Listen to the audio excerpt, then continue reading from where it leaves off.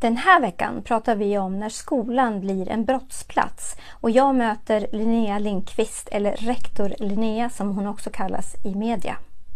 Hon har bland annat skrivit böckerna En tickande bomb och Hur man vänder en skola. Vi pratar om kriminaliteten och gängbrottsligheten som går ner i åldrarna och även tar sig in i skolan.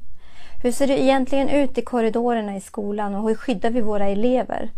Vad händer om det blir en skolskjutning och kan man verkligen förbereda sig för något sånt? Det här och mycket mer pratar vi med Linnea om på onsdag klockan 18. Missa inte det.